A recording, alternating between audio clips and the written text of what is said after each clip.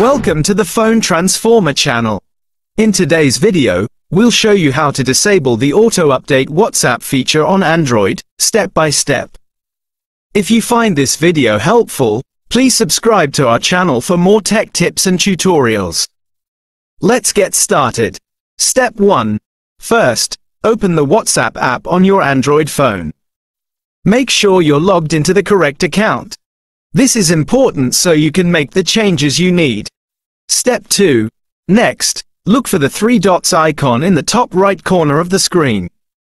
Once you see it, click on it to proceed. Step 3. From the drop-down menu, until you find the Settings option. Tap on it to open the Settings menu. Step 4.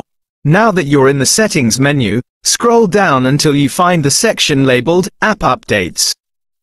Once you find it, tap on it to access your app update settings. Step 5.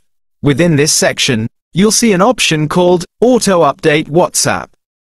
It's likely enabled at this point. Step 6. To disable it, simply tap on the Auto Update WhatsApp option. Then, confirm your choice by selecting the Turn Off option. Thanks for watching and see you in the next video.